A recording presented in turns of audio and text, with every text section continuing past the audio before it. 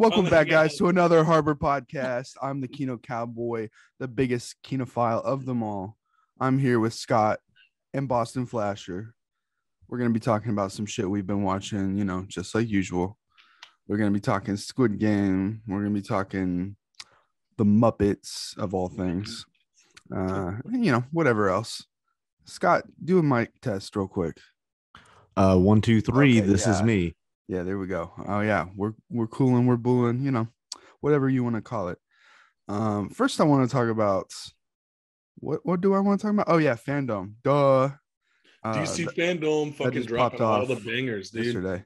Uh, the biggest uh, hype for me is the fact that the co-creator of, of the animated series is teaming up with uh, the director of the upcoming Batman to make a new adult animated Batman. Did you read his quote on that? He says it's more Batman the animated series than Batman the animated series. That's bold. Whatever the is fuck very that bold. means. He's Might even like- say it's brave and bold.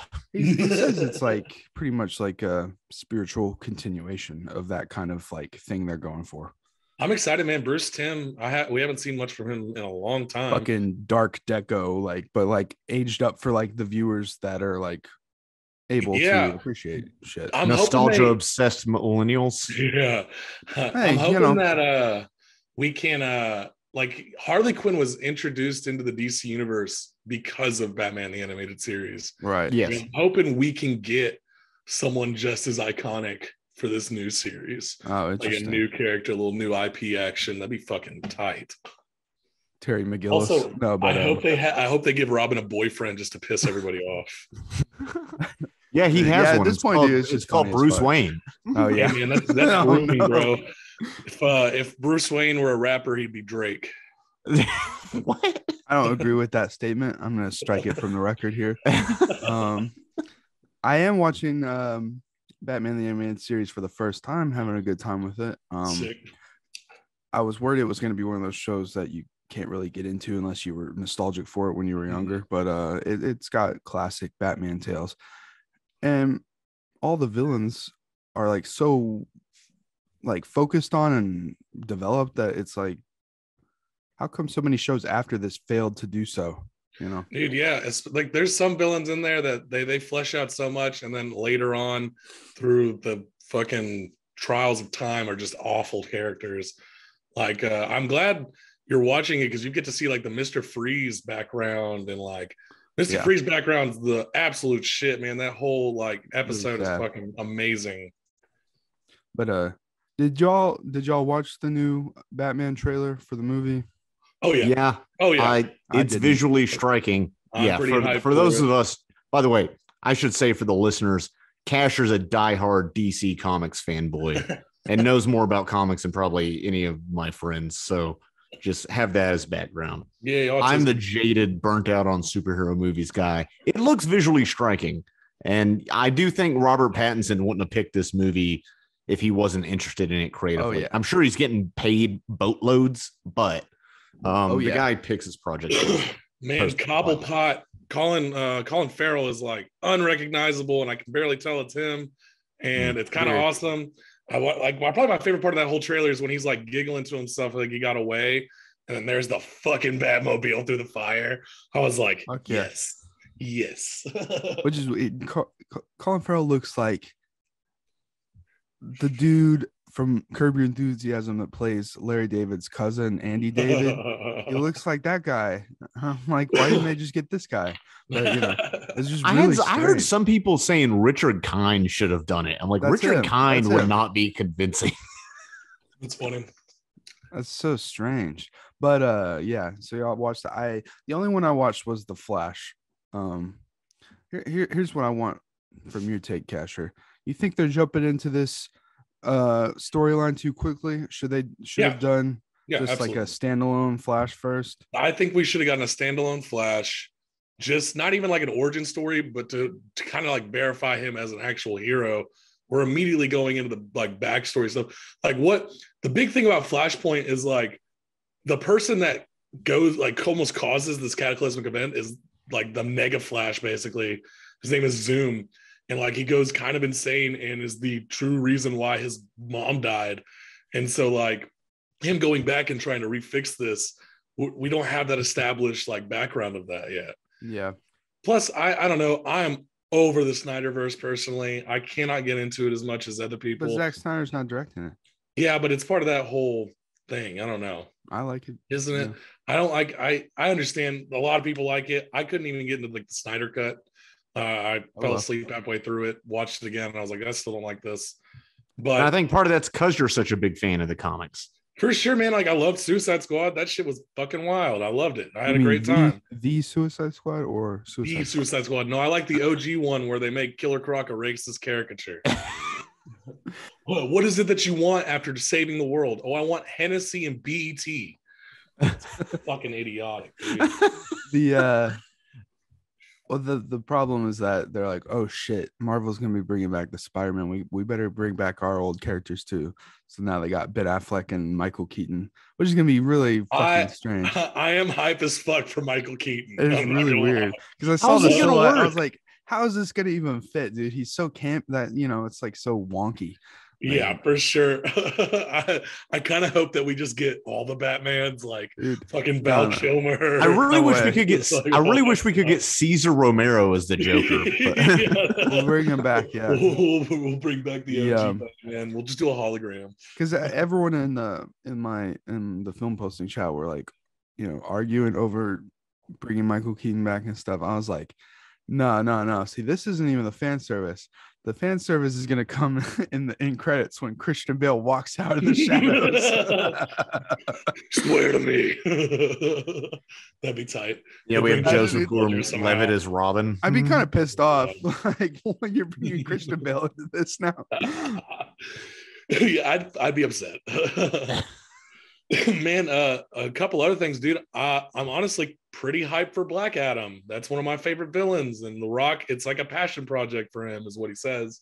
And uh, they showed It's a like passion project for him because he wants to be a superhero yeah or super yeah, villain. it's not as it's like not. It's like the most dark superhero ever. Like, uh, whatever what they showed like the first like 45 seconds that he's introduced and he looks badass it'll probably suck i don't know shazam i enjoyed the shit out of shazam i thought that's kind of the tone that dc needs to take I I, And, I agree uh, there. The problem is Shazam and a, lot of the other DC movies follow the same cycle for me, where like the first two acts are really good, and then the last act it's like yeah it the drags same, on the sure, same dude. superhero trappings that every other superhero movie gets in. Too much CGI, too much stupid, convoluted villain shit. Just and I'm just like, no. The Wonder Woman, the first Wonder Woman does the same shit. Yeah. yeah man I, I don't like any of the wonder woman movies either i was not We excited for Wonder Woman three? three is that did that yeah, they announced? accidentally uh talked about it at the FanDome. And What the like, fuck? No, I'm not. No, I'm not. No, absolutely a- not. Did you see Cheetah in the new one? Like Jesus fucking I fucking couldn't Christ! bring it- myself to watch it. It's so bad. I watched it with my parents. My parents were like hella into it, and I'm like, this is fucking awful. Like Patty Jenkins directing the third one? Yeah. Scott? Oh, okay. Oh, that's cool. Should have gone with a different director. I thought she would be busy making her Star Wars movie. Oh yeah, man. You Hmm. got priorities, man. Let's That- fuck up the Star Wars universe more. Let's make this another Star Wars cast.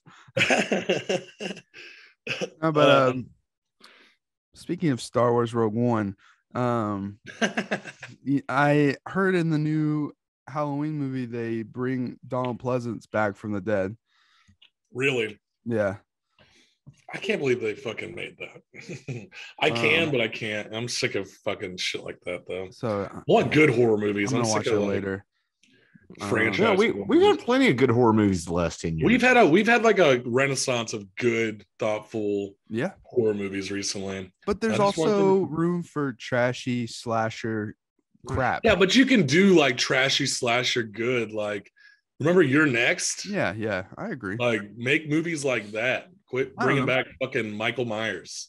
Halloween uh, 2018 was pretty good, but uh, I'm I'm, I'm gonna judge saw this. I'm gonna dra- judge this new one for myself. It is the middle of like a trilogy of films, you know. So Oh, is it? yeah, I didn't realize that the the first. yeah, the third one's going to be called Halloween Ends until Yeah. next financial quarter. Zing, got him. I don't. You know what else is horror? Kinda Squid Game. Yeah, Squid Game is Kind of. an intense fucking movie or show, man. I uh I love Korean shit. I guess that, that sounds weird. But, no, uh, no, they make it's they make good cinema. They're I went I went like uh, during COVID and watched a shit ton of Korean cinema and like TV and stuff. And found myself just like immersed in it.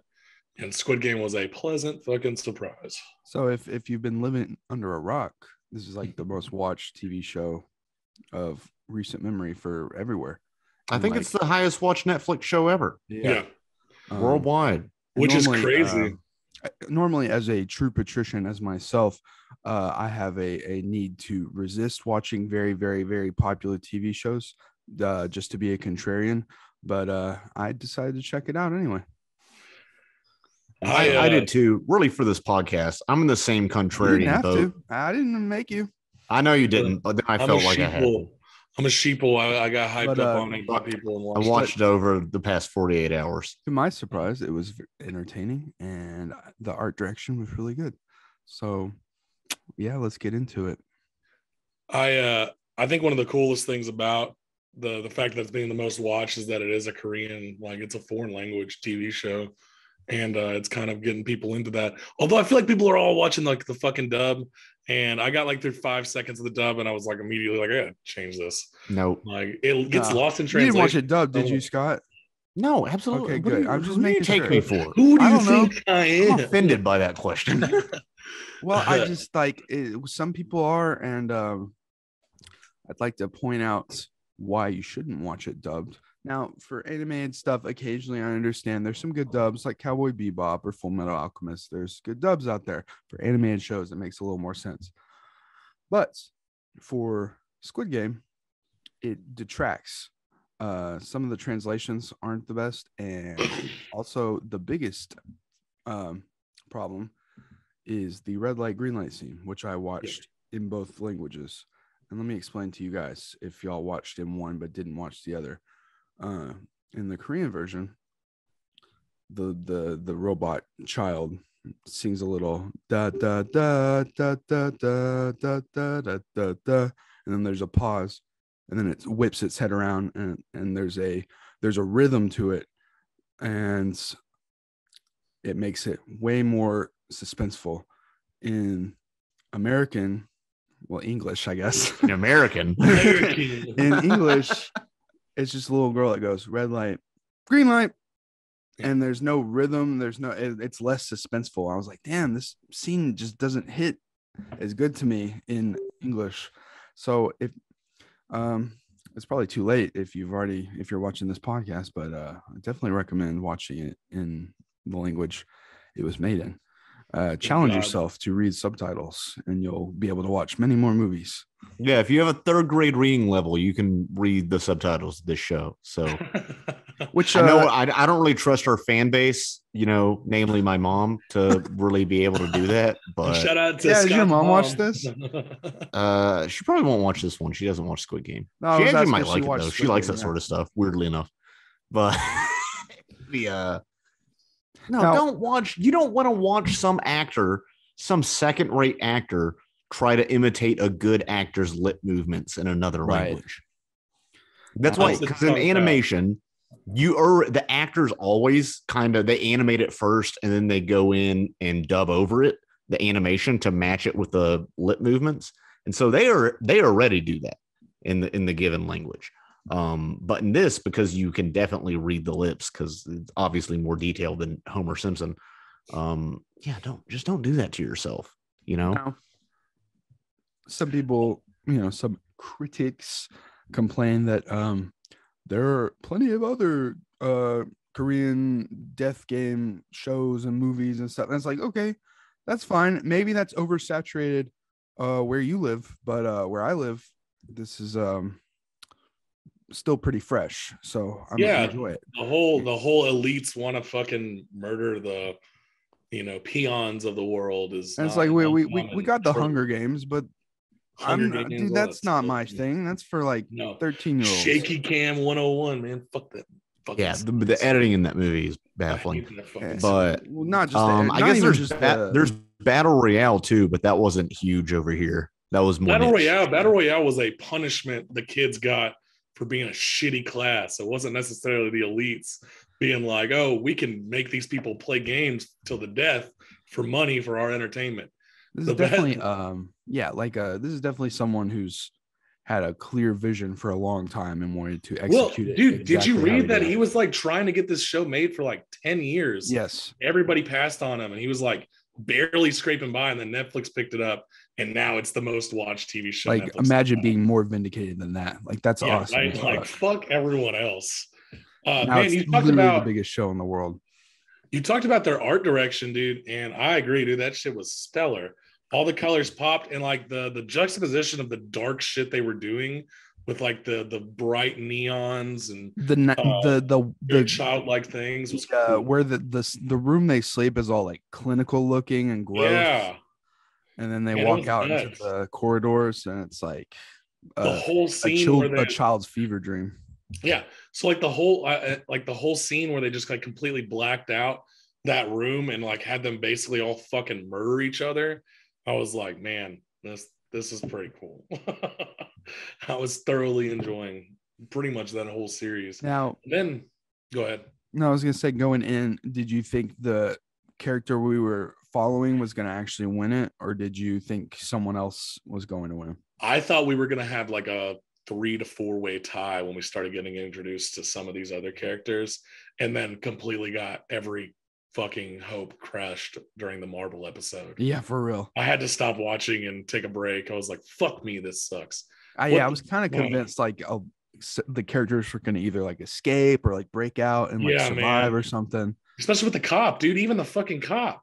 I was like, "Oh, this this subplot's gonna have it's gonna be what like frees everybody or helps everybody." No, he he he dies too. which is why it's good. Yeah, Yeah, no, I no, love that's that. why There I is- loved it. there is a lot of this show, and we can go into more detail that I found, you know, somewhat predictable, not in the sense that it was formulaic, but just in like this is what needs to happen for the Yeah. story to continue, yeah, you know. Um, but they did have enough stakes and enough curveballs thrown in there. And just, you know, when a character died, it mattered because yes, they were developed Yeah. well enough, which is a big, it sounds like such a simple thing, but so often in, in, in everything. Uh, The- shout the out to character J.K. dies Rowling and- for unnecessary deaths. Yeah, they tell us to feel something, but we have no investment, which is a huge peeve, pet peeve of mine. I kind of talked about this during the last Yeah. James Bond podcast. Um, but we, we do get enough time with all these people. Now, did I think he was going to win? I thought he would make it pretty far because he's the main character. I didn't know if he was going to win, and I didn't know if there would be one winner or if it'd be a tie, or if maybe even like maybe the whole game stuff just goes south and like it Yeah. doesn't even finish. It's just like chaos. So um I do think it's weirdly the way he won though is kind of ballsy in the sense that well, A, you had to attach to a character moment with his brother and having to basically kill his brother. But then B, you you kind of have him win it and then his life still crap anyway, which is thematically appropriate. Um so there there was no happy ending in that. Uh this dude it makes Charles Foster Kane's life look happy and is filled with marital bliss by comparison.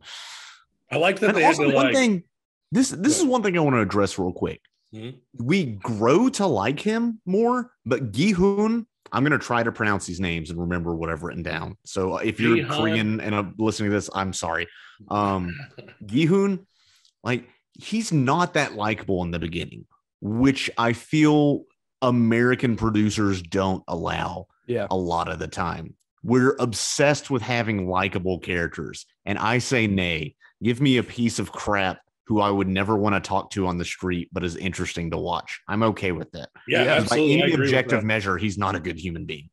Well, they go from like bringing him in as like a shitty person to humanizing them to then like in the last challenge, like stripping away like his humanity with him having to fucking murder the one dude he was like really, besides the old guy, like close with in the whole thing, and then bringing him back down to like the very piece of filth that he truly was for a while. Yeah, because he's not a good person. They even say in the show that he's a good person, some of the other contestants. But the thing is, you're comparing him to the other contestants Yeah. who are willing to murder and risk their lives for money. And it's absolutely insane. that you would think this guy's a good person. What was uh what was y'all's favorite death game? Well, for wait, before we do that, I just wanted to say that what made the whole show more interesting is that instead of it being super secretive and cryptic and stuff and them just going into the game, instead they're allowed to leave and then come back if they want. And now not only do we get them to come back, we also have the cop who infiltrated it. So now we get all this behind the scenes shit. It's like you would think normally something like this would save like seeing behind the curtains till the end or something. No, we're seeing behind the curtains a, a lot of the time, which was not what I expected. I'm glad they did that because it made Ep- episode two is my favorite episode of the entire show because they get to leave, hang around in Seoul, realize how shitty their normal lives are anyway, and then come back. Right. That that made the show because the first episode, because I already knew what the show was about. I had heard about red light, green light from just people talking about it. Yeah. And I was like, okay, this is kind of a battle royale, Hunger Games, rich or bad, capitalism, parasite, yada yada yada. and then, but that raising of the stakes and also realizing that they're actually choosing to do this in episode two makes it that much darker. And if we're gonna go with the capitalist themes, that sort of you can't opt out of capitalism thing it's a nice idea, but you're going to be pitted against your family and friends and everyone in this, you know, game. I mean, hell, economics, a subset of economics is called game theory for a reason. There's winners and losers. okay, Yeah, Matt, yeah, Pat. it- it- there was a nuts little turn of events. I was like, "What the fuck? Where are they going with this?" And then yep, that was it. it Two episodes. They like, leave yeah. the game. They vote to leave, and that's that's the show. well, I was just like, well, because watching, I was like, well, I already know they're gonna vote to stay and it's gonna suck. And then they voted to leave. And I was like, okay, glad you uh Also, Ryan I didn't think made- about this. The guy who voted for them to leave, we and I did not expect this. We learned in the last episode was the puppet master of the whole thing. The yeah, that was the man. shit. And, I got yeah, which is angry. heartbreaking as a viewer. Um, so but mad the thing is, that. now that I think about it, he was the one who was the final vote who voted for them to leave. yeah, So that's him screwing with people and playing with people for fun even more. yeah. And that's something I didn't think about until just now. No, Man, another with the with the whole cop subplot there. I love that we got a lot of the background, but it's that organization's still mysterious as fuck. yeah, Like there's still a whole lot yeah. more. I, I'm glad it didn't bust out. it completely wide open. Oh yeah, But uh, busted wide open. I I have to say, uh, I I can't lie. Uh, from the very beginning, I was suspicious of that old man. I was like, he's number one. He there's something off about this guy. he And was and- number but then it got to the marbles episode, and I was like, oh, okay, I was wrong, and now I feel bad, and I'm emotionally uh, invested in him surviving. God But, uh, damn that marble episode, dude. That marble episode's Um, probably my favorite episode. Is that your favorite Uh, game? Uh, I actually, I think my favorite game was the the the hopscotch one, just because of how fucking it demands you to be brutal and it demands you to like really fuck everyone up, and then you finally see the gangster get his comeuppance Yeah, from the Fuck crazy chick. Yeah, fuck that guy. one of the most But like the- back to that Marble episode, dude. The whole thing where he's like fucking with his dementia, and then at the end he reveals like, "Hey, man, I wasn't actually like fucked up." yeah, And like Yoon's like, "Oh my god, I'm a fucking bad person." Like just that self realization was just intense for me. And then the whole like taking the immigrant and like confusing him and making him walk around so Fuck he can that. win. Hoo-wee. I was like, fuck, dude. I I texted my brother because he's the one who's been wanting me to watch it. So I just finished the Marble episode. I'm going to fucking bed. Like, I was so mad. I was really pissed off about Ali, the Pakistani. Sang-woo, fuck Well, especially because uh on TikTok I read a uh I, I thought I read a spoiler that Ali like wins or whatever. And I was like, oh great, now I know who wins. yeah. I don't know what the fuck they said that for. I guess just to troll people. Did they watch? Did anybody watch the dub at all? Did they give Ali like a fucking actual oh, accent? Oh, I did. I don't know. I didn't. See. I'm wondering because he had like he technically has an accent in the Korean dialect because I mean they point that out and he's like learning these other words and ways to say things. Uh, so I'm curious if we got fucking Oh my Apu and God. fucking death. I'm gonna look right now. Hold on, I'm muting my If mic. I'll, I'll be back. if he's like, "Hello, my friends," like that'd be horrible. they get fucking what Hank Azaria to voice him. It's the Simpsons to go on Squid Game. That'd be horrible, dude. Yeah, very, very impressed with the show. Um, yeah, the death game with the hopscotch, the whole pushing someone into a plate of glass, especially that last one that's saying that's when like I was like, I was pretty done with Sang-woo already after what he did to Ali. And I was like, maybe, you know, you have to do that. It was a one on one challenge. They had no idea. Like, you want to live. And when he pushed that fucking old man over who's like inspecting the panes of glass Yeah. because he's an expert on it, I was like, fuck this guy. Well, also, like, like, give him a couple more seconds. yeah, for a while I was like, okay, this guy's doing what he needs to do, you know. Yeah, it's but- necessary. I was like, fuck this guy. Yeah, dude. Yeah. Um, dude, yeah, because it gets. I like how pathetic he gets in the Marble episode when he realizes he's gonna die. He's begging, he's like, doing begging and anything. pleading. Yeah, dude, see Goes from being, so like, gross.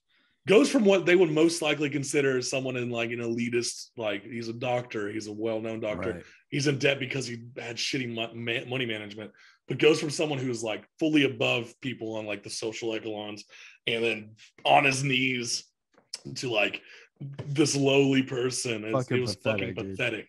Yeah.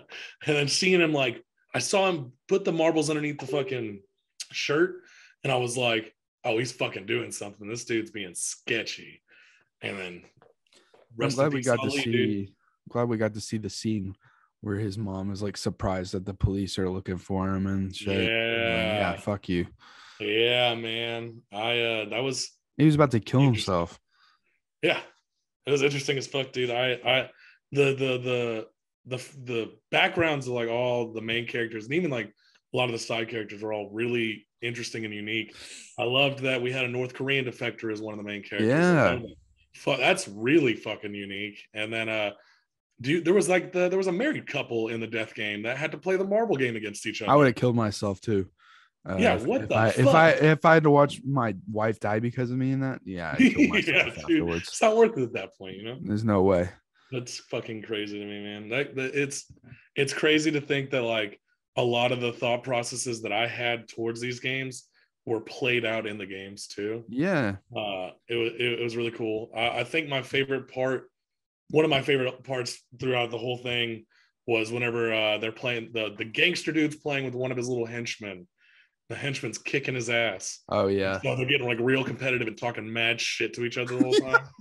he just was so fucking breaks character. He's like, "What's up, little bitch?" yeah. it felt really good to see that after the dude's like starting riots and being a real fucking wise guy.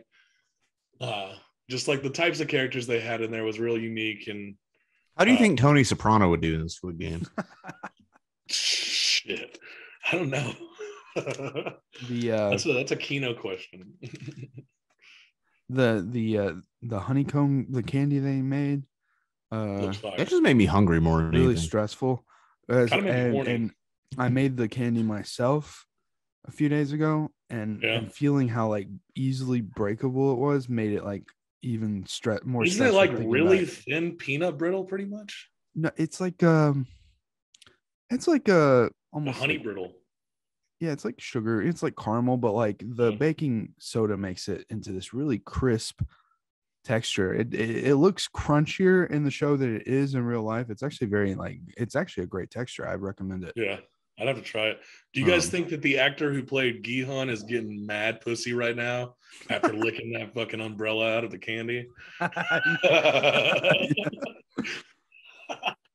also, I'd like to say I, I'm glad the protagonist uh was like an older guy, like almost in his fifties, like late Yeah. forties. I was like, you know, pathetic loser.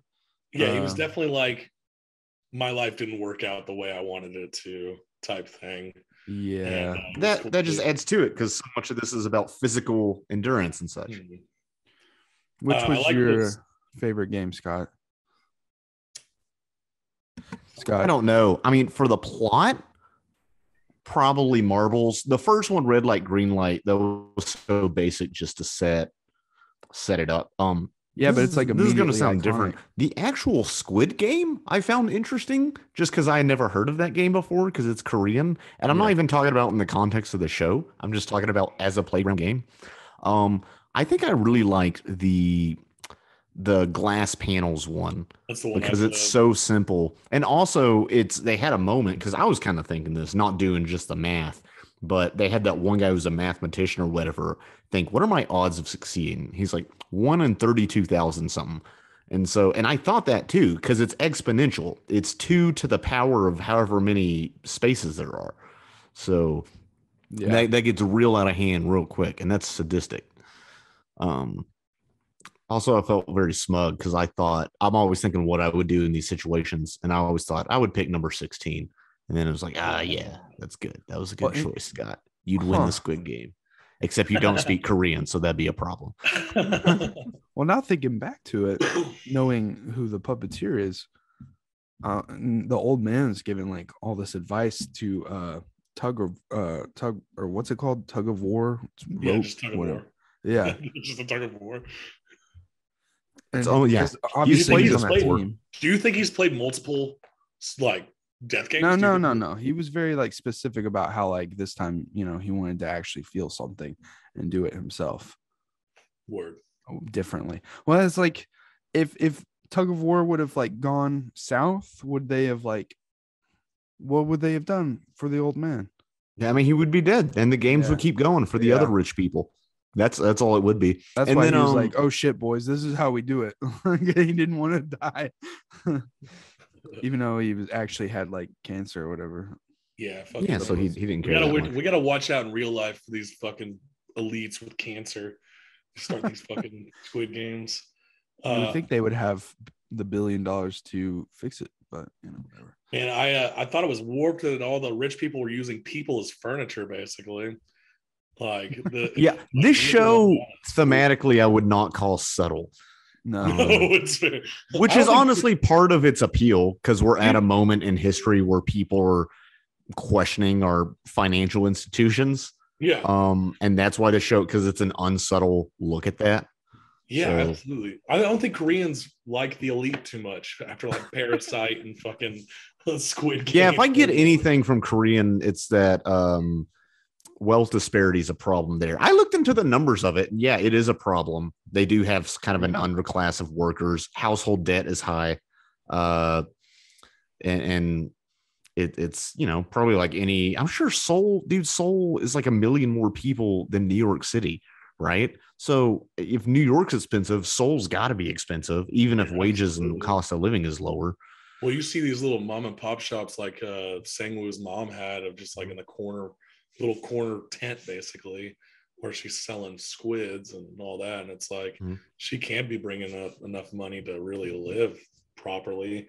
Uh, and just talking about the wealth disparity, like it, that's a No, very of noticeable. course not. It's like all of Korean cinema that I've seen recently. Like uh, a few months ago, I watched Memories of Murder for the first time, and like oh man i've been wanting to it. watch that it's on Hulu. Uh, it uh, they have a lot of his work on Hulu actually, which is cool.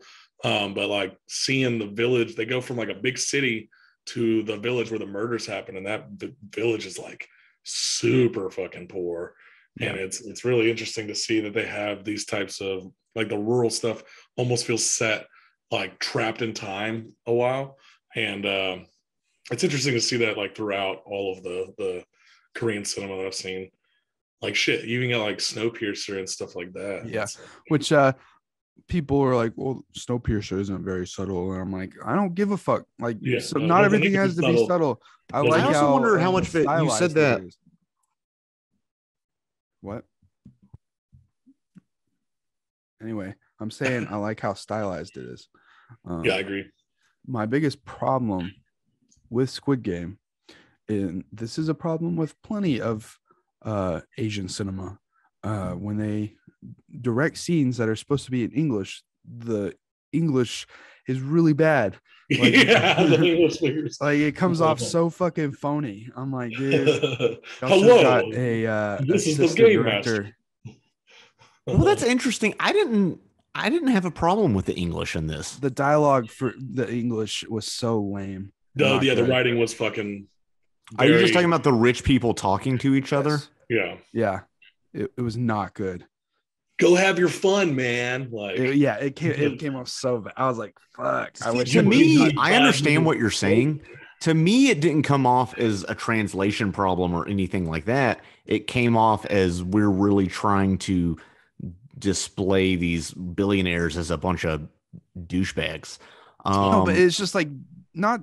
Yeah, it's the writing and the delivery. It's not good. Well, it's well, almost I like think some how, of the writing. I think some of the writing in Korean is questionable. I think honestly, the actress. I'm not going to remember her name. The one we see take cigarettes out of a yeah, capsule in her vagine. The I think her acting is hammy in every scene. I know that's the character. I know it's over the top, but like it, it takes me out of the show. Well, here's just another her- problem: is that uh, I uh, a woman on TikTok who s- speaks fluent Korean watched the show and was like, even the subtitles are uh mistranslating shit, and she says it affects some of the characters, including that woman you were just talking about. Um, she was like, she said like, for example, when they're pairing off, uh, where you have to choose like um a partner or wait which one is it and they're like in the white That's marbles room. where they have to choose a that's part. right Oh, yeah yeah and she's like down. desperately trying to find like a group or whatever and she's like in the in the text in the english translation she says like um you know i'm not very smart but like i i know how to figure shit out. Please take me. But the lady said that in in korean what she's saying is that like she was a genius. She just didn't have a chance to go to college and finish college and do all this shit. And like it kind of changes how you feel about her and, It and changes her, a lot. her comeuppance so i'm wondering what other shit was mistranslated and it kind of makes me I don't know. Go go learn Korean, nerd. well i just um the people that do the translations for netflix and other shows aren't. It's kind of like they, they're not paid that much and like they go really quickly you know and, and Yeah, there's a lot Translation- of, uh, Translation is poor paying. Translation Yeah. pays poorly, which is Which a is shame. And I think that's only it's only going to get worse because it's less and less appreciated as um AI translations become more available. I'm sure we're going to get to the point, maybe not for Netflix production. I mean, we're already getting to the point where businesses are saying we're not going to pay a translator. We're just going to have Google do this, and it's for a packaged product. So who cares? Because I'll, I'll read stuff like that. Again, I live in Spain.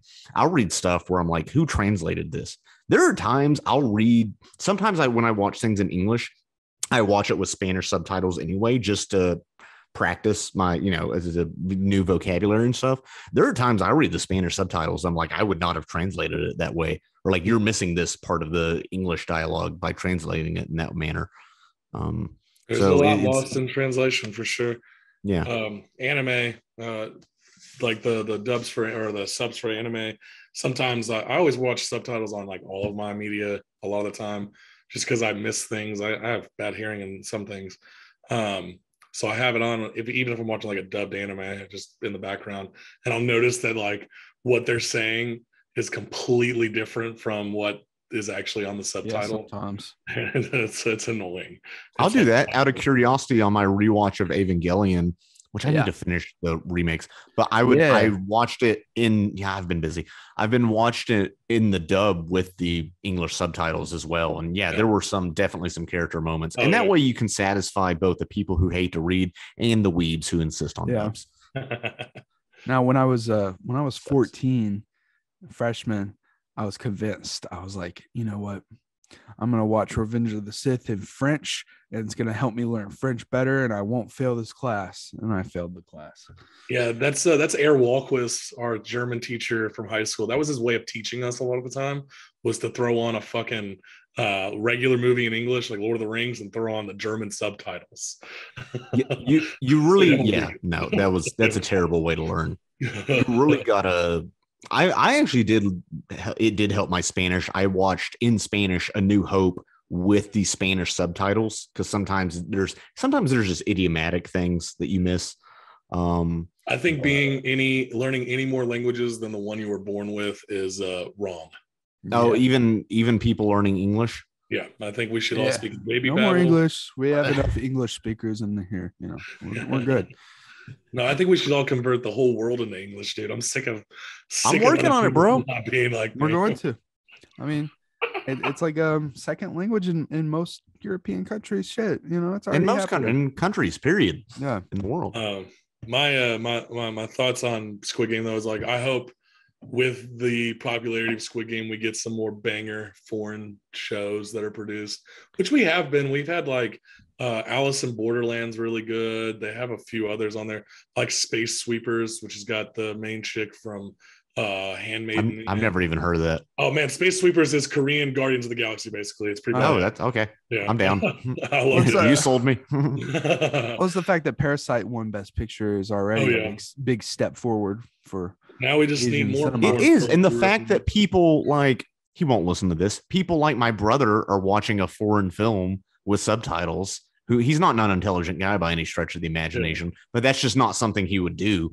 You know, Yeah, I wouldn't catch a single member of my family watching fucking foreign films, and, uh, unless it's fucking anime and it's, you know, whatever. which uh, you know that's trash doesn't count anyway. whoa, But the no, no, I think it's great as a that is one of the positive effects. This there's definitely a lot of talk about globalization in this show with you have American businessmen, Chinese businessmen, all the elites. They're selling organs to the Chinese. I actually did the math, and a person is worth about half. If we harvested all your organs efficiently, you're worth about half a million dollars. yo, sign me the fuck up. So We um, they were actually the making a street and make some profit. Money. they were even making a profit just uh I was doing I kept having to convert. I would like open up in Google and convert the, the Korean won to dollars. Oh, I did that too. Yeah, because the numbers they're like 45 million won and then they buy a coffee with it. Well, I'm like, wait a minute, I don't understand like how this four- works. what is it? The, they they had, like he walked out with like forty six billion won, and that's Yeah. like, like a few million, and That's like 35 million US. Oh, okay. Which Yeah, is, which is not, the 40 not that's nothing to Uh, sneeze at. You're you a know, mil, you're pretty rich, Nothing to sneeze at. Yeah. but the um Yeah, it's just chump change for people like the uh, number number one. I don't know. I don't remember his real name. yeah I think it was I have it written Number down. one. I don't know. They Il didn't call San? the name Number one. He Well, was number one. Il-nam, that's his name. Oh, the yeah. um here's the thing. Why can't it just be James? yeah. Or fred Watch Fred. the English dub then. The um that is one thing I do think that if you won a billion dollars, I feel like I could spend a million dollars. 35 million, I don't know what I would do with that. I'm sure doubt I could figure I know I'd yeah, use I'd it like all. I'd use like, I'd use 33 million of it for as much good as I possibly could. Um, what else? I, uh, do with it? I would give in to my vices fairly quickly. I'd be done. yeah. Oh, I know what you would do, Casher. You're sitting here smoking and chugging Mountain Dew on this podcast. It's a You've been here Diet Mountain Dew. I'm just kidding. It's Okay. not a diet. It's not I used to have a di- bad diet Mountain Dew Fuck problem. my in- in diet your Mountain defense. Dew. You, you're just a pussy for not I just drinking. got I got a regular Mountain Dew. Uh, I was lying. Okay. Those are diet cigarettes, guys. It's okay. hey, they are lights. They're not full flavors. You're gonna start Um, smoking Virginia Slims like your mom. Dude, the no, not happening. Are you still on American Spirits? Are you still doing that?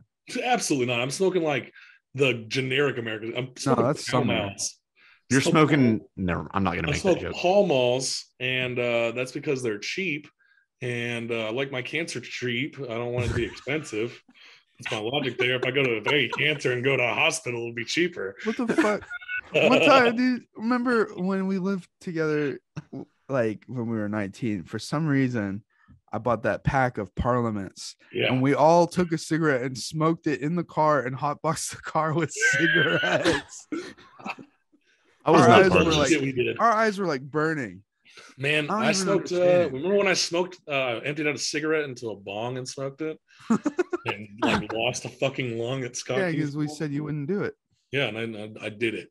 That sounds like something a YouTuber would do. Like, hey guys, cigarette bong chat. That's like a TikTok. What's up, YouTube? YouTube, it's CustomGrow 420 Heat. You know, Yeah, I've heard. By the way, I just want to mention this real quick. There have been some, not satanic panic, but you know what I mean. Some panic about this show because kids are allegedly imitating the games on playgrounds and stuff. Yeah. Jesus Christ. Because I mentioned I was watching this to a roommate, Well, and then he came games. back and he had Googled it and he was talking to me about that because that was the first thing on the Google results. But I read multiple articles.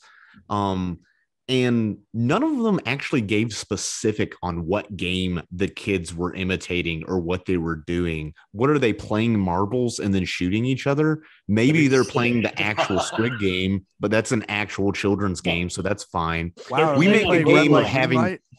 We we make a game of having our children throw a ball at each other and then tackle each other and give them concussions for fun.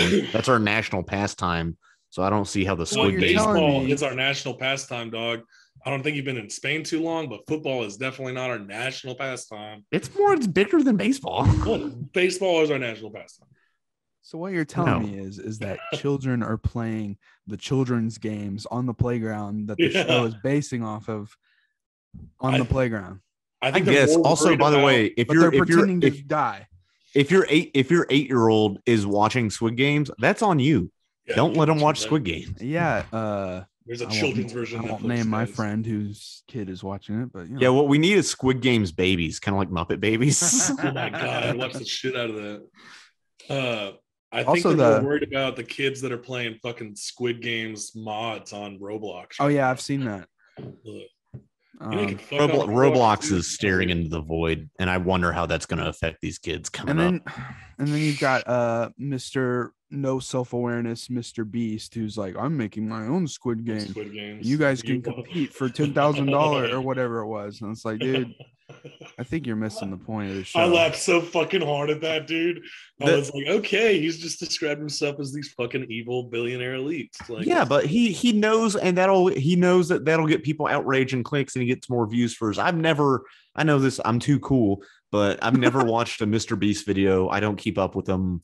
He had uh, some burgers. I, the first time I'd heard of him was the burgers, and then I got confused with L.A. Beast, an actual good YouTuber. Yeah, right. yeah. Uh, I uh, I the only thing I can say about Mr. Beast is that uh, if you were ever inebriated, it's really fun to watch him buy up an entire GameStop. Stupid. That shit's funny. he just walks in and is like, "I'll take everything." It, ma- it just makes kids think. I don't know. I don't know. Too many influencers. Makes kids want to be influencers. Yeah.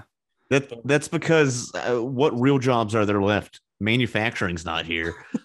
It's like what what The economy supply does America chains are have? running dry, so uh, we won't have goods and services anyway. So Don't worry, matter? comrade. The revolution is near. We won't even have to work. Everything's yes, we gonna will. be automated, just like Grimes said. Um, Jesus Christ, that what looks was I gonna say? my mouth.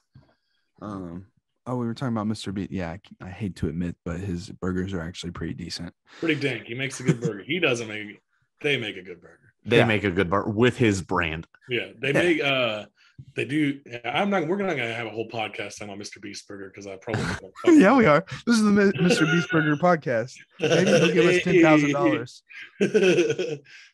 I uh yeah, I'm I'm gonna I'm curious to see how many more influencers are like, let's do our own squid games and not Well, let's do it. Okay, so drop a comment below of what type of murderous s- sadomasochistic game you want to play, and we'll give you the combined revenue we've made from all these podcasts. So, so here's here's a good question. They're doing a season two, which I don't know why he dyed his hair red at the end. I'm still confused by that. Anime. But yeah, he turned into an He's the protagonist now, man. I uh, I'm curious to know if what games they are going to focus on the next season. I'm hoping for some Paintball with real hardcore- guns. I want Well, hardcore rock paper scissors. I feel like they'll have like maybe one or like two games, and then shit will go awry. Some something will fair. happen. It, it'll be more focused on like taking down Right. the the I agree because we've I'm already kind of kinda had that hoping- gimmick of the games. Kind of hoping that Gi-hun goes full fucking Walter White and becomes the game master dude, like that other dude became. Like has to like eliminate him somehow, become like That's, the- that's kind of what I was thinking. I almost wondered. I was just when I was trying to figure things out. I was like, I wonder if all these rich bastards they actually were the winners of previous games who Would you then empathize invested their money, Ooh. Would became rich, and they became so desensitized they got sucked into it themselves. It's pretty plausible.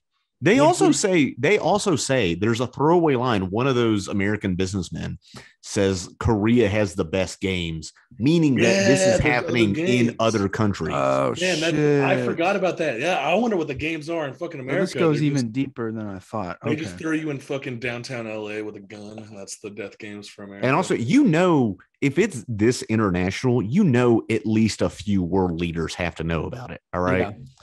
Okay. You think Biden's old raggedy ass ain't watching this? You think okay. stay awake makes- through the whole thing. no, no. Biden is actually the old man who orchestrates it all and acts, you know. I wish I wish that would have been the old man's reaction instead of being like all coy about it at the end. I wish he would have been just like, "Gotcha, like, gotcha, bitch." Like, you're dumb. Um, he comes yeah, in like cool. sounds an alarm, like Mr. Krabs when he gets his millionth dollar.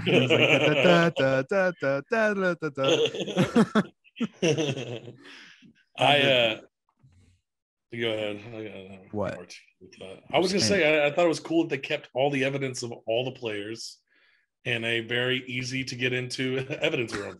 Oh yeah, that, that was really smart by this criminal organization.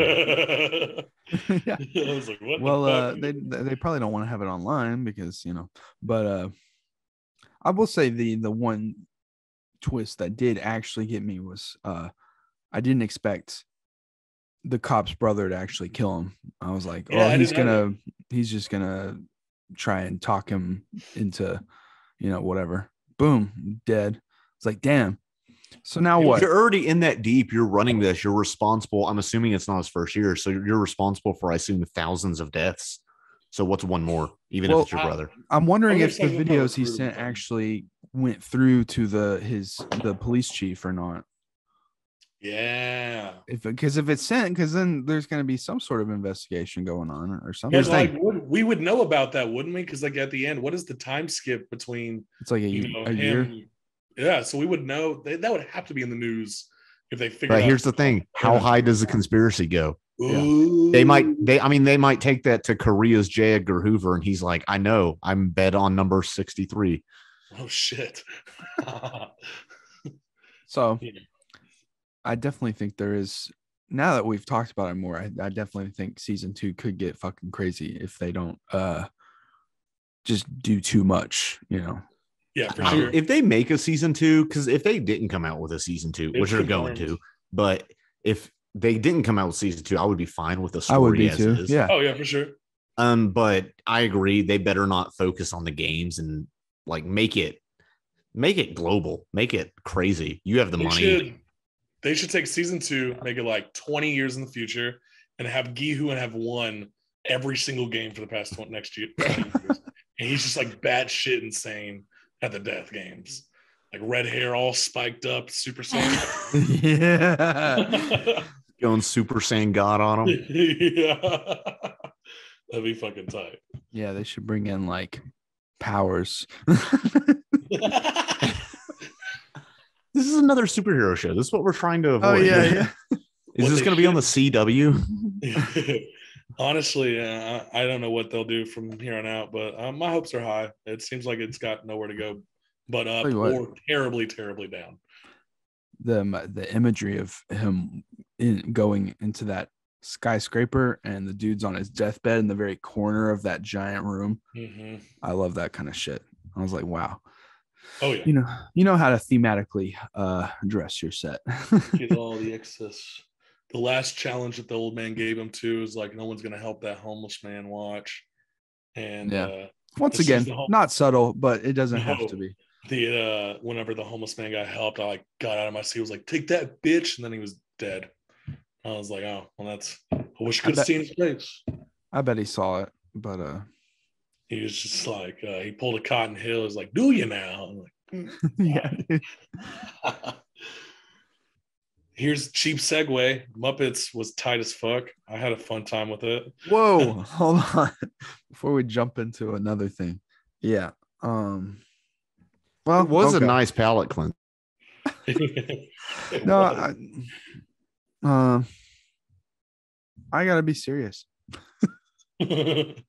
Um Muppets, how I mentioned there were some good parts, but man, they didn't get much of a budget. No, they didn't. showed. I think uh, I think depending on how big this gets, like how many people watch this, we'll it. probably get something bigger. But it's like you look at other Muppets productions, and it's like, what? It was also a, it was less of like a Muppet movie and more a Muppet special. I get You it was a like, special. Muppet spent like all the Muppet specials from the past had about the same budget. I mean, they had pretty big fucking decent names acting in that, I know. like Will Arnett and John Stamos.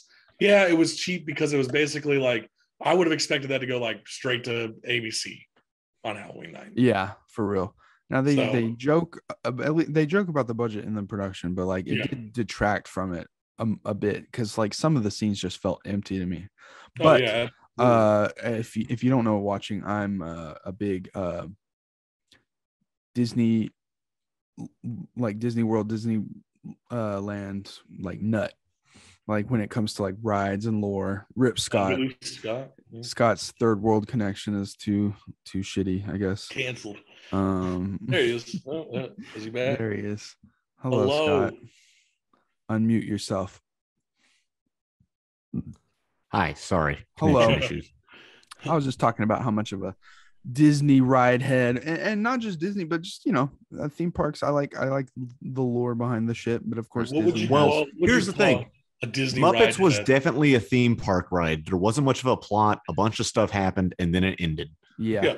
that's what I'm saying. Is that But I'll be honest, it was a nice palate cleanser after watching all of Squid Game in 48 Sure. hours. I just wish uh there was a higher budget and a little more detail put into it. Um, They put all their budget into their cameos, man. That's how the Yeah. specials work. Geoff Um, Keighley is in this. Geoff Keighley, who Uh, hosts the Game Awards, and Really, the ghost of Ed Asner, which is really weird. it's sad. I uh, I was happy to see Walter from the movies back. I feel like I haven't seen him in shit since the movies. Yeah, Yeah, yeah. the one from the Muppets movie. He's too. I was thinking about that. The you're talking about the protagonist from the Muppets, Yeah. like 2012, whatever Yeah. reboot.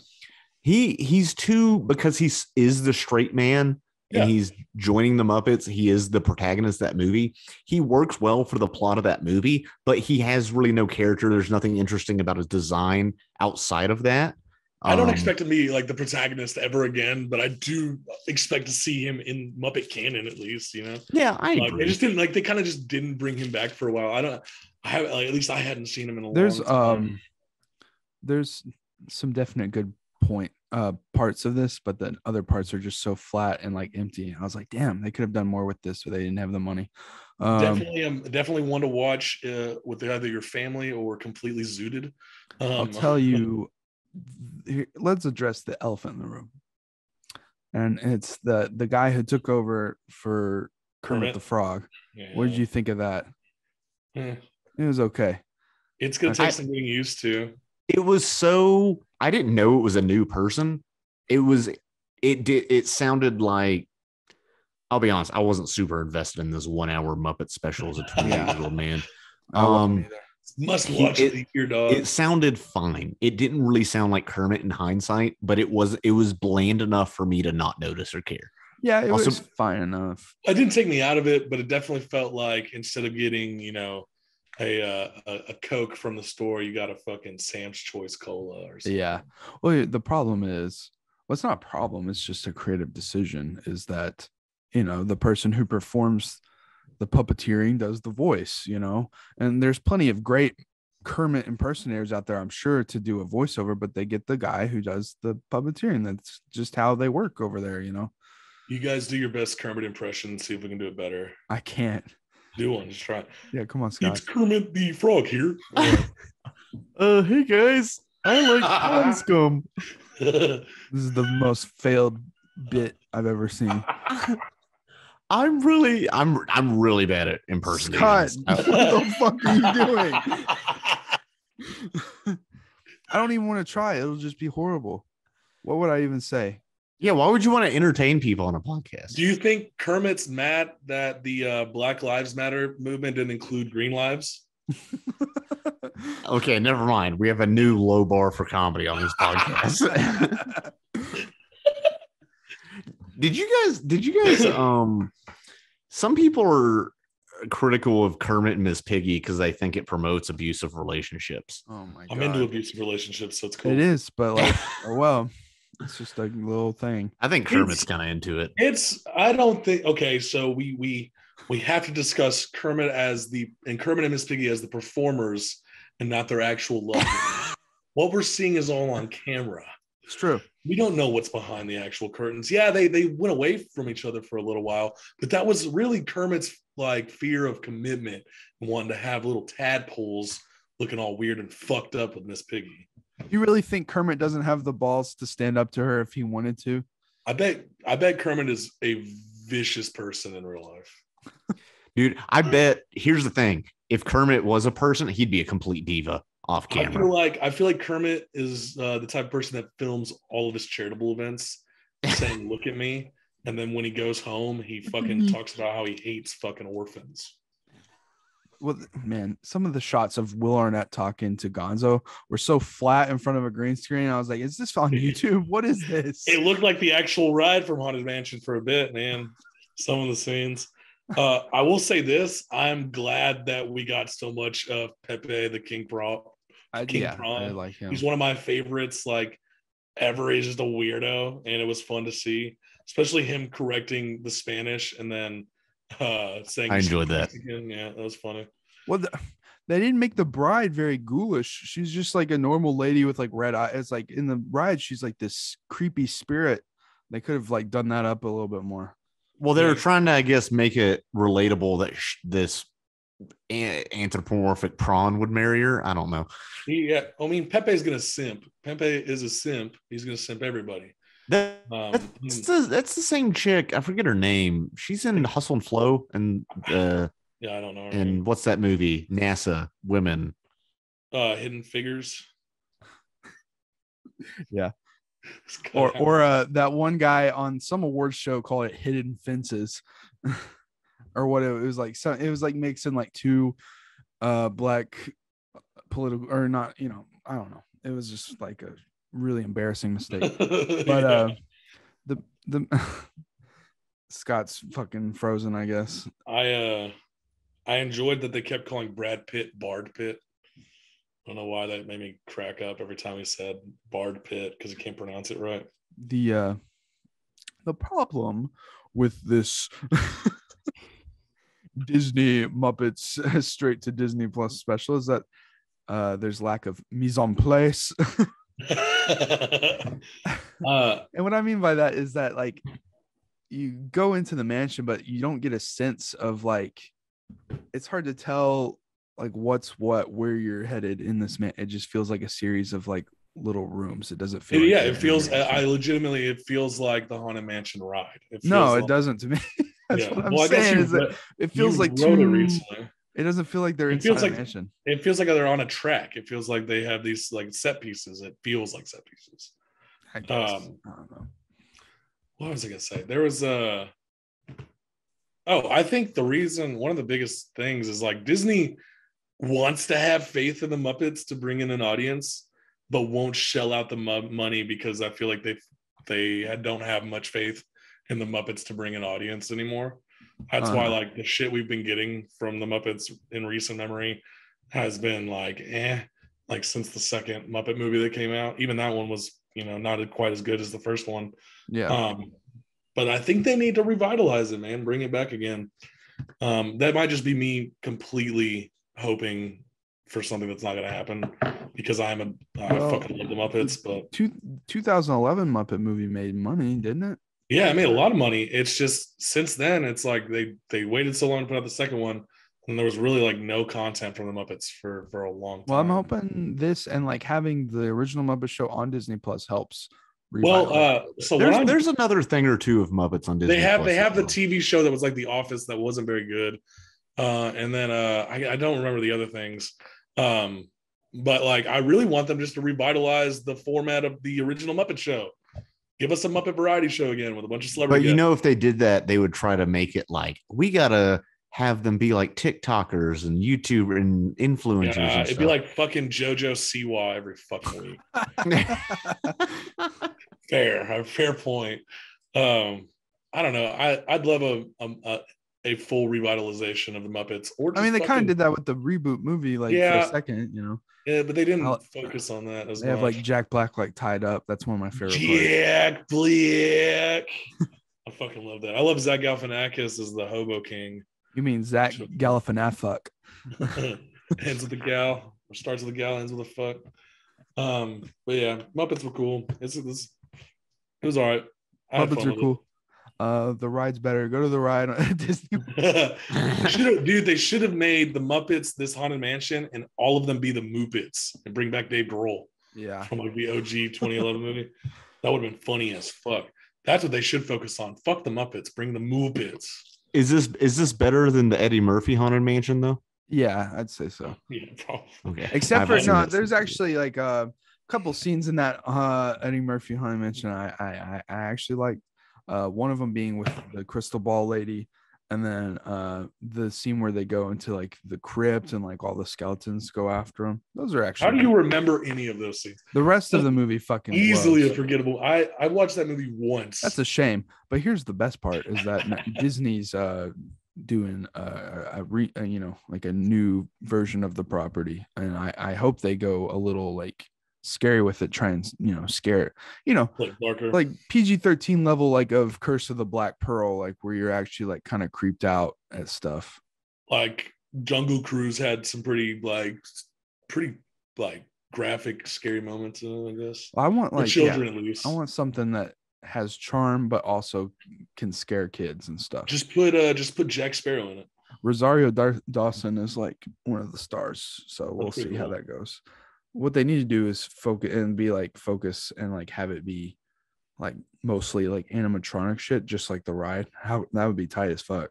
That would be cool Because we have the power and technology to make animatronic effects look fucking crazy, but we don't want to. Yeah, that's fair. Fuck you, Jurassic Park, for that. Anyway, what else y'all been doing? Watching anything? Uh I've been rewatching Breaking Bad. Oh yeah. Um, I know you guys don't watch anime, but Kimetsu no Yaiba. Breaking Bad is an anime. No, uh, Demon Slayer is back on, and that you know that made a fuck ton of money. I read the profits for that, and just the few years that it's been out has made like ten times the amount that any other like anime or media from Japan has made. So that's been pretty hype lately. But about to start Midnight Mass probably tonight. Oh yeah. I need to I, uh, start that I was gonna do it last night, but I was in like my existential crisis mode. I was like, oh, this is just gonna make me fucking afraid to go to sleep too. So Ooh. What about you, Scott? You been doing anything? I guess Every this. everything I've been watching has been for this podcast. Okay. Just because I should uh, branch out more. well, I'm just I'm just starting this uh new job and stuff. I'm legit busy. I'm commuting a lot too. I commute like two and a half hours a day total, I uh, and then work full time. I'm in TikTok depression mode. Oh, yeah. All I watch is Delete TikTok. that stuff, dude. I need to delete it. I uh, except I'm not going to. Also, to. I've been exercising, which is a huge waste of time, and I should stop. yeah. been watching a lot of Two Bears, One Cave with Tom That's Segura good. and Bert Kreischer while I So work out. that's about it. should peep uh, if you like that. To check out Tiger Belly and Bad Friends too. Oh, Um, I saw, I saw, yeah, of course I watched this. I uh I saw Chappelle's new special and uh surprise it's edgy and kind of boring and transphobic. I was just saying, uh, transphobic. Uh, Sumner was saying that there's a point to what Chappelle's saying.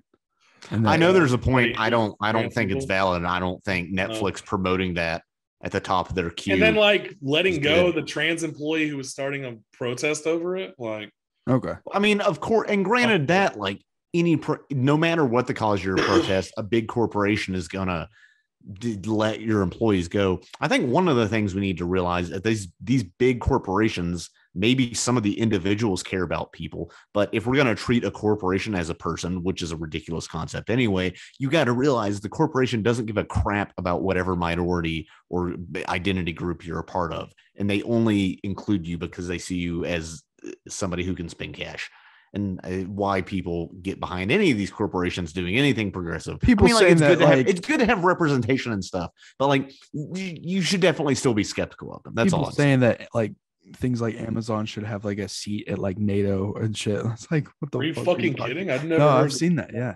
That's dumb. They should have a seat on my face. You'd let Jeff Bezos sit on your What, face? what kind of like? I don't know how bet much his he's paying butt- me. I dude, his asshole has to be pristine. Oh, he has a bidet. You know it. I almost, dude, I almost drunkenly bought a tushy about a month ago, and I I'm want should. one. I want I one. fell, I fell asleep like in the middle of the fucking transaction, basically. Woke up to like my browser being on the tushy, and I was like, I was either I either took a massive shit or I was super horny. well, it was like um, it was like Joey Diaz talking about how he the shit he like will like buy when he's like fucking ripped. And he said like he was like he's like why the fuck did I order band-aids through the mail? You and then he like was like and then he found himself ordering flights a flight to Tunisia in December. And he's like, why, why would I do this? I would love excess money to make fucking purchases like that. Usually I wake up and regret it, and I'm like, fuck, I gotta call and cancel this. Yeah. um but yeah not not watching a whole lot right now i like i said i want to watch midnight mass there's a couple other shows my friends have told me oh you guys don't really fuck with big mouth but big mouth has got a new season coming out. I do not fuck with Big Mouth. I fucking love that show and then uh oh you just came out like two days ago the new season of that and uh i was very skeptical at first about watching that a couple of years ago when it came out and then the hype was big enough to you know allure me a little bit and that show is pretty fucking good Hmm. And what what is that? You? it's uh it's this like it's a drama thriller type thing about this guy who is like a pretty much a sociopath who follows his girl around to make him his girlfriend and like memorizes all her stuff and completely manipulates this girl into dating him. And then it just gets fucking weirder from there. Hmm. second season was fucking wild. There's some pretty cringy moments in it but all in all pretty solid solid addition to the netflix cast of shit they've got. So for uh Halloween, when we do Halloween cast, what you said you had an idea, or I'm trying to think of what shit we could talk about. halloween hot takes Oh yeah, hot takes.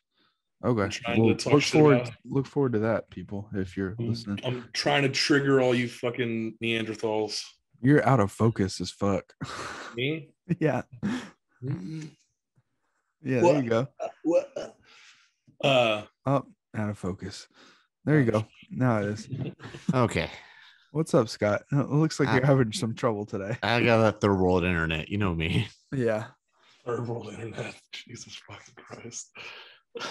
Or we- I probably. Anyway, guys, uh, I think that wraps us up for this episode. Uh, stay tuned for next week. What what are we doing next week? Oh, Dune. Dune is next week, boys and gentlemen, and anyone in between. Yeah, I'm gonna go see that shit on probably think Friday Scott's night. frozen again. It's a good image of him frozen. Cap it. Boom. Anyways, Reaction Uh, photos for days. That's an NFT now. If you want to buy it, hit me up. okay. NFT of Scott the expat for sale. Uh, hit up Austin Casher. at- Two hundred fifty thousand dollars. It's yours. Okay. And we'll use that to fund uh, the next cast. All right. Thanks.